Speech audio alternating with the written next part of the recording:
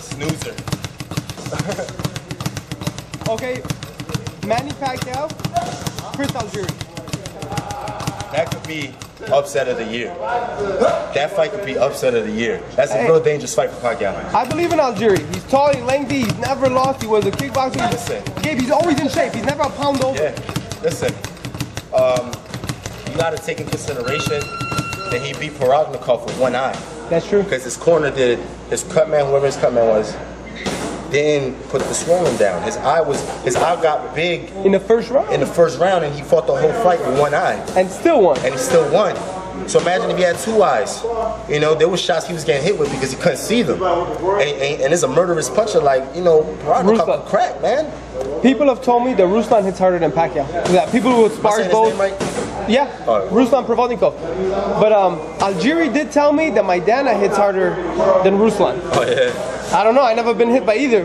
Yeah, but the thing is, um, I think Algieri, he, he has the height, and he has the long jab, and he has the stamina because he's in great shape. right, He you're has right. the, he has a degree in, in I think physical health or whatever. Yeah, he does. So, you know, and the man has heart. So when you got heart and you got the and you got the skill and the stamina, you know that's tough. And he's a young champion. He's hungry.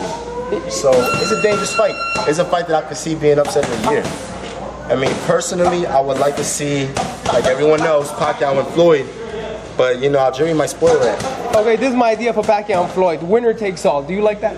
Winner takes all. Winner takes all. They ain't doing How much shit. buzz would that create?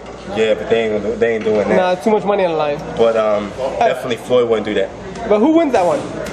Listen, man, who knows? Because Floyd's acting funny about this fight. You know, first it was uh, he wanted um, Olympic Olympic drug testing. Pacquiao agreed. Then it was about money. And then Pacquiao agreed with him. And then it was about networks. And then the network said we're willing to collaborate. And then it was oh he has to sign the TMT. So it's like every time they um, they agree with what Floyd wanted to do, he comes with a different scenario. Now he's to sign with TMC, so that's kind of that's kind of funny to me. But I, I don't know. I, I, that's what we're hearing, but I don't know if that's true or not.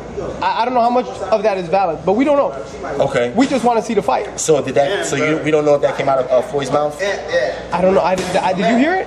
I didn't. That's what I heard. Okay. That's what I heard.